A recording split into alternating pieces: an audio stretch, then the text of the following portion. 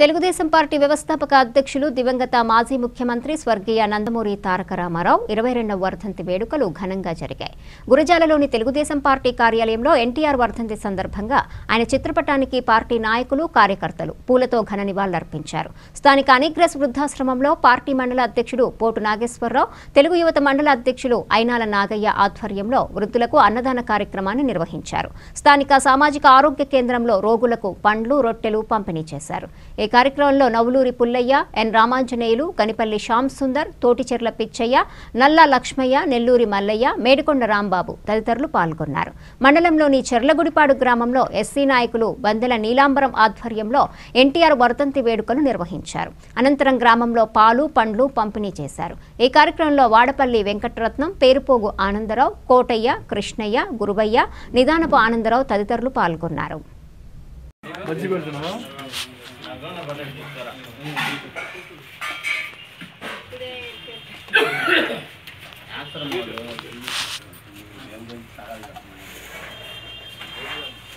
అన్నీ చేస్తాం మేడం అందరూ నలుగురు వచ్చినప్పుడు నాలుగు ఐటమ్ రాస్తారు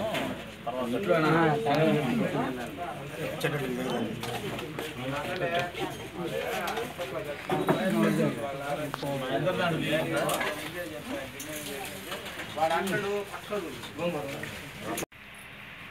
మరి వారిలోనే కొందరు కొందరిని మరి శారీరకంగా మన మధ్య లేకపోయినా భౌతికంగా తెలుగువారి గుండెల్లో తెలుగు జాతి తెలుగు ప్రజలు బ్రతికున్నంతకాలం మరి వారి గుండె చప్పుల్లో నిలిచి ఉంటారనడానికి మరి అన్నగారైన విశ్వవిఖ్యాత నట సార్వభౌమ పద్మశ్రీ డాక్టర్ నందమూరి తారక రామారావు గారిని మనం ఖచ్చితంగా చెప్పుకోవాలి.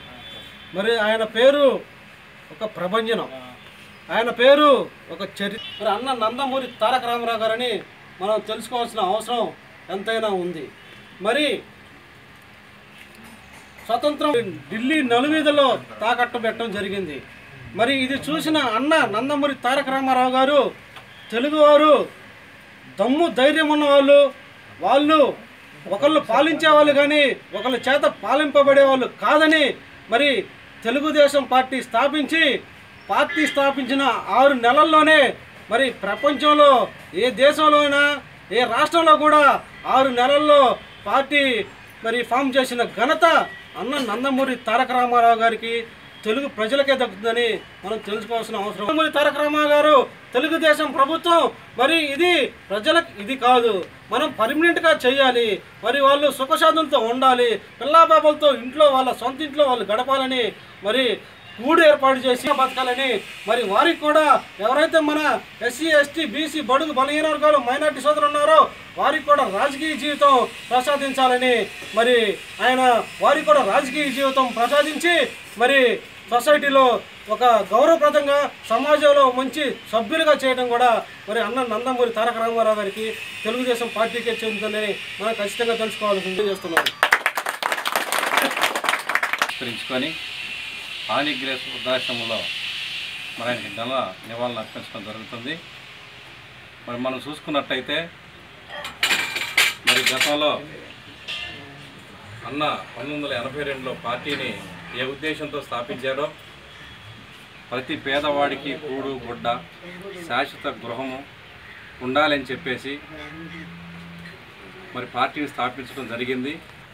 అహర్నిశలు కృషి చేస్తున్నటువంటి మన గౌరవ శాసనసభ్యులు ఎరపతిని శ్రీనివాసరావు గారికి మనందరం కూడా ఆయన అడుగులో అడుగు వేస్తూ పార్టీ అభివృద్ధికి కృషి చేయాలి ఎన్టీఆర్ ఆసియా సాధనకు నడుం బిగించాలని చెప్పేసి ఈ సందర్భంగా నేను తెలియజేస్తున్నాను. జరిగింది.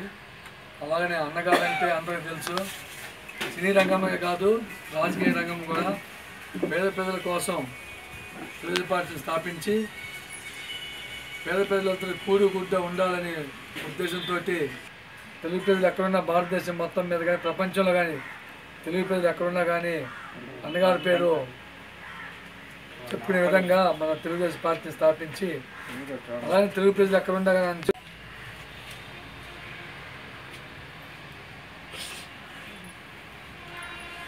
ఎన్టీఆర్ జోహార్ ఎన్టీఆర్. చేతులు కట్టేసి